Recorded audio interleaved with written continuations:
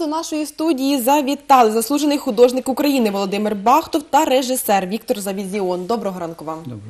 Инна представила меня как и автора и режиссера, а мы э, оба соавторы. Співавтори. Мы, да, мы даже не записали себя как авторы э, в этом фильме, потому что, ну, и- оно и так ясно. Мы все делали уже 23 года, все делаем вместе. по Ось, до полной. речі, щодо того, що 23 роки готували цей фільм, і впродовж цієї роботи народжувалась ваша дружба. Про це нам хочеться розказати нашим глядачам. Поділіться, будь ласка, про ваші перші роботи, про те, як розвивалася ваша дружба, ваше товаришування, про ваші роботи.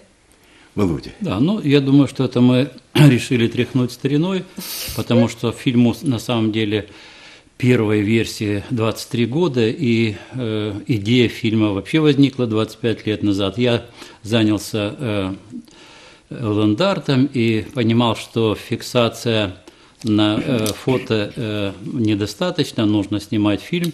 И э, мы тогда с Виктором долго собирались, пару лет, но э, сделали первую версию фильма. Она же нам казалась тогда последняя, но на самом деле вот прошло 23 года, мы сделали э, ремейк на первую версию. Тобто то був тільки початок. Ну, Нет, это, это был- было- это была самодостаточная вещь. Это была фильм, нормальная фильм вещь. прожил свою жизнь, но он был снят э, на старорежимных аппаратах, э, на пленке. Э, качество э, для, э, даже для вашего эфира уже как бы анахрониз- анахроническое. Розкажіть детальніше про ваш новий фільм, про вашу цю роботу. Ну вот получается, я поддержу э, Владимира, значит, получается, что вот тот фильм, который мы первый раз делали, да, он в то время получил очень хорошую оценку. Вот. И, в принципе, м, Володя сомневался, как соавтор. Э, Там это все вроде бы было, ну, так сказать, размеренно. ну, так вот, так. Сумнівалися, чи варто перевершувати. но сейчас монтирует, не монтирует, а снимает уже быстрее с расчетом на того, что все уже понимают, что такое вот это интернет и телевидение, когда и так уже все понятно, коротко-коротко. Я долго с ним не, не спорил, но э, нежно его убедил, что пусть останется тот стиль, потому что если первый раз уже хорошо сделанных не может быть, что это ошибка. Все равно оно и сейчас будет звучать точно так же. И оно так таким образом прозвучало. Хотя э, вы в фильме в этом можете э, увидеть, что там и размеренные такие кадры есть, и есть очень-очень жесткие, короткие-короткие по две секунды кадры, их там немало. А у меня как режиссер, я должен вам сказать, это вам говорю как телевизионщикам, испокон века я считал, что на телевидении, что в телевидении в, э, в- в других жанрах это журналистское изобразительное э, искусство. А в телевидении, когда это касается кино, это должно быть только изображение. И нам повезло. К Володе в свое время, вот в те годы приехал один 17-летний парень из Германии, который написал... Молодой композитор. да. молодой композитор, который написал музыку. И вот и музыка эта никак не устарела за это время. И мы просто, будем так говорить, обновили, ну, у него, конечно, добавились еще эпизоды из его творчества, и это и гелио э, э, граффити, и, и вообще один раз мы с ним стали, и он, по-моему, придумал, говорит, вот поставь камеру на берегу Ливана, да? А я поставлю просто мольберт э, с бумагой, да, и возьму вот такую вот кисть малярную, да, и возьму у нас тут прямо в обрыве есть три вида глины, серая, зеленая и, Красная. и красная, да, и давай будем это на камеру писать. И у нас, вы увидите вот потом в этом фильме, и у нас получилось на протяжении четырех минут одна, две, три, пять, десять, сто, тысяча картин За этим интересно было наблюдать. Это совершенно новое понятие в этом деле, понимаете? Тобто, пане Володимире, у вас творче натхнення з'являлося під час зйомок фільму, якісь нові ідеї? Да, это э, э, действительно так. Если говорить конкретно о воспоминаниях по э, этому сезону, мы э, зимой э, как бы реанимировали зимние съемки из первого фильма, то есть нам нужно было повторить э, ту же сцену, которая была в, пер- в первом варианте фильма, но э, не было того э, количества снега, не было, не, было, не было той погоды, и э, буквально там перед выходом на съемку я э, утром сказал, мы будем делать это, это и это. Это вот в конце фильма там есть фрагмент, где я с циркулем рисую. Это было придумано вот буквально во время сборов перед съемками. А огонь на черепках, на кургане черепков, как был Да, придуман?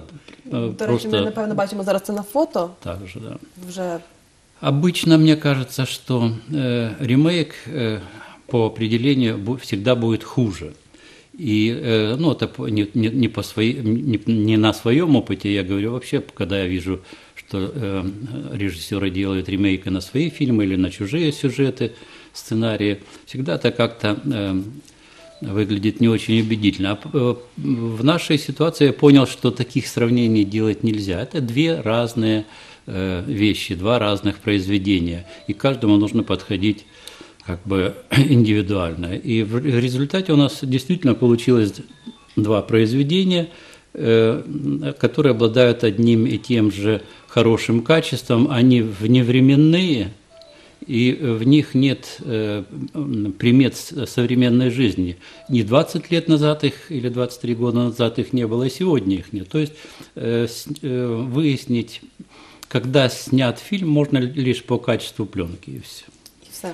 Щодо зйомок самого фільму, розкажіть нам про вашу творчу групу, разом з ким створювали. Ну вот получилось так, э, что в этом фильме м, до этого вот между и первым фильмом и вторым фильмом к Володе приезжали ребята, съемщики из Киева, из Москвы, очень талантливые люди. И они сняли очень красивые и хорошие фильмы. Но не такие, как, ну, как мы сняли с ним. Вот они по-своему все сделали. Я наблюдал и всегда ему говорю, Володя, вот как классно сделано, вот как классно сделано. И они, их, их кусочки, сюда э, тоже вошли. Вот эм, я, вот э, наша любимая э, Кускова Юлечка, да, у меня, у меня же есть своя камера. Но все время мне говорили, нет оператора, нет оператора, нет. Как-то вот мы ее вы- выдернули, она это сделала.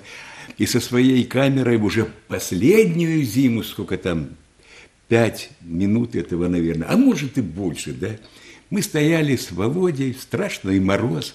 Вдвоем мы были в Ольве и зимой никогда в жизни. Никто, я знаю, не был в таком состоянии. Мы затери- были затеряны с ним в этом мертвом городе, э, окруженный льдами замерзшего лимана, окруженный снегом. А Мы окружены были, продрогли морозом, но мы что такое делали. И вот что интересно, вот ты спросила, как, как дружба у вас, дружба. Ну вот сколько мы не снимали этот фильм, у нас не было ни разу даже творческих конфликтов. Вот в чем дело. Я эмоциональный, я до сих пор удивляюсь. Ну да, я не конфликтный. А он не конфликтный. Поэтому мы совершенно, совершенно так с удовольствием все это делали, и будь здоров. А, Щодо дружби, все ж таки хочеться повернутися. Поділіться, будь ласка, секретом справжньої чоловічої дружби. Ну, у нас э, дружба э, от- на творческой ниве, поэтому э, и э, как бы э, настоящая дружба, с- ну, ко- которую ну, э, банально формулируют по, скажем, бытийским моментам, эта формулировка к нам не подходит, потому что у нас, пожалуй, более ответственная э, дружба, поскольку это э, не наши отношения личные друг с другом, это отношения э, на творчества. публику. Мы же выкладываем все результаты нашей дружбы на ваш суд. Щодо роботи над вашим фільмом, ми поговорили про вашу творчу групу. Говорили про те, що цей ремейк дійсно виправдав усі ваші очікування. А ось щодо ві- відкликів та результатів глядачів, що вони вважають? Можливо, вже казали вам якісь рецензії? Да, ну мы же сейчас уже в Ютубе выставили и мы показывали этот фильм и в Киеве. Притом в Киеве мы показывали, там собралось человек 50 народу, э, в галерее Триптих э, Арт. Вот, там были и наши хорошие знакомые операторы телевизионные из Киева, бы- были киноведы, были театральные критики, э, были доктора искусствоведения. То есть там, ну, журналисты, естественно, там такие люди, ну, а, собрались такие очень, такие по-настоящему цвет интеллигенции Украины и Киева, во всяком случае. Ну, я не знаю, как Володя, но я от того, что первый фильм был удачный, то я был совершенно спокоен, что он никуда, никуда не денется, все равно будут, будут хвалить. Но интересные вот сейчас уже рецензии, не рецензии, а примечания появились людей, которые увидели. Ну, одну из них, вот сказал человек по фамилии Холод, я не знаю его. Он написал, говорит, я чувствую этот фильм позвоночником. Я знаю, мне показалось, что мне показали что-то давно забытое, а теперь я это вспомнил. Ну и дальше хорошие слова. Ну да, Ось тоді- питання до вас. да, да. Е, Відомо, що ви мешкаєте неподалік від е, Ольві, є, у вас там є будинок. Е, Чи допомогло вам ось, так сказати, ну, зв'язок між тим, що ви зовсім недалеко від самого історичного такого міста? Допомогло чи це над, над роботою над фільмом? Да, я действительно живу практически в заповедной зоне э, Ольвии, поскольку часть села по, э, по Рутинскую балку, она считается территорией заповедника. Может быть, э, относительно и условно, но если бы э, Институт археологии и Академия наук были всесильными, они бы половину села забрали вместе со мной. Вот. Но э, вопрос о том, имело ли это значение, действительно, это не, не то, чтобы имело значение, это естественное последствие м, э, моего поселения в Ольве, потому что я сознательно там строил дом, строил мастерскую, сейчас это можно назвать арт-резиденция, где проходят разные мероприятия, и этот фильм является как бы естественным продуктом моего пр- проживания именно в Ольвии. На вашу думку, актуальність цього фільму для сучасного суспільства у чому? Ну вот как, Инна, если, смотри, если человек смотрит на этот фильм, да, думает про Ольвию и думает, что сейчас происходит у нас в стране и в мире, и думает, ну от чего же умирают города, от чего их засыпает землей? Это же люди там жили, как видно, и талантливые люди. Вот вот другой талантливый человек вошел в то понятие, это не мертвая Ольвия, это Ольвия живая, все что-то осталось. И все, что осталось, он перерабатывает как художник. Вот то, что там люди делали, проецирует на нынешнее время как художник и делает свое, которое войдет и в аналы Ольвии, в историю Ольвии, и в историю нашего общества. А фильм этому как раз и подтверждение. Пане Володимире, а на вашу думку? Ну, я смотрел на реакцию э, на премьерных показах э, в Киеве и в Николаеве, э, реакция зрителей. И э, первая э, реакция – это абсолютная тишина при просмотре фильма. Потом несколько минут тишины после, потому что, Люди по всей вероятности, э, такое магическое действие фильма имеет место быть.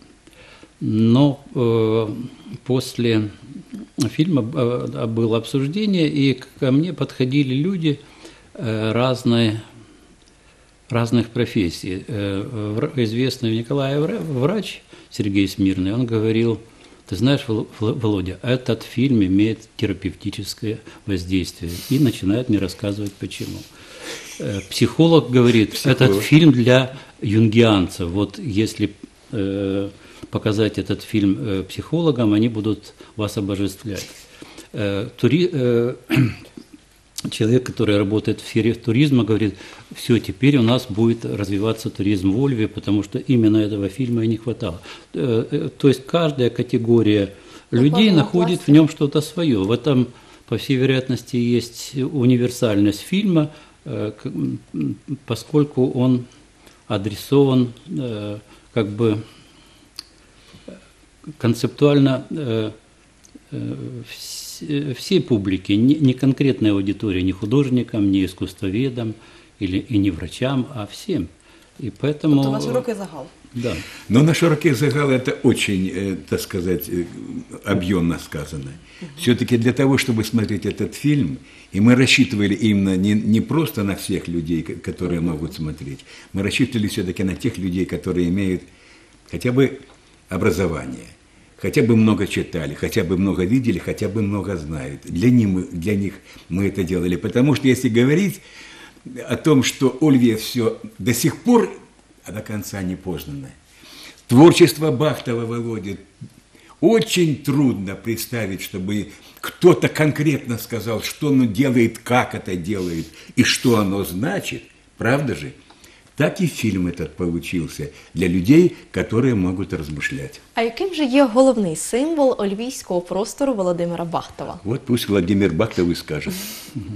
Ну, а- а основной символ это как бы цивилизационный, э, ци- цивилизационная модель или адресация, э, переадресация зрителя к э, цивилизационной модели, которая была э, в, гре- э, в греческом обществе. То есть на нашей территории тысячу лет э, была античная цивилизация, греческая цивилизация. Можно повторяться бесконечно в разных вариантах, но де- действительно именно эта цивилизация и является основой для европейской культуры.